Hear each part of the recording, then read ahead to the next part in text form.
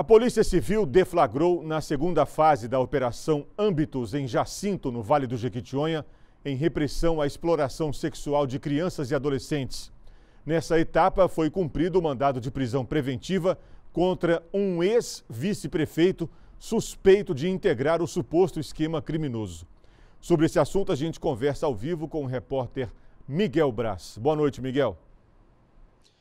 Boa noite, Saulo. Boa noite para todos que acompanham a gente por esta edição do MG Record. Esta segunda etapa da operação foi realizada nesta quarta-feira.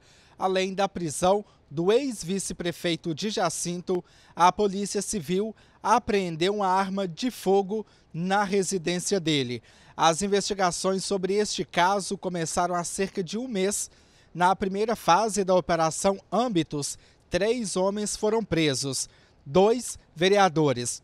Ainda segundo as investigações, um dos vereadores teria forçado um adolescente de 15 anos a gravar uma videochamada com um adversário que também é vereador na cidade de Jacinto. Então, um dos vereadores começou a extorquir o outro e teria publicado o conteúdo nas redes sociais. De acordo com a Polícia Civil, a motivação para esses fatos seria disputa por votos para a presidência da Câmara Municipal. Na ocasião, a Polícia Civil apreendeu computadores, aparelhos celulares e pendrives, objetos que serviram para os trabalhos investigativos. Já o terceiro homem, de acordo com de acordo com a Polícia Civil, não tem nenhuma ligação política, mas tem registros por tráfico de drogas. Esse homem, esse terceiro homem, teria explorado sexualmente da adolescente e realizado viagens com ela.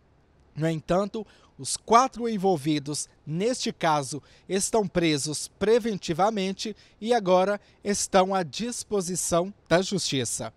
Eu volto com você, Saulo.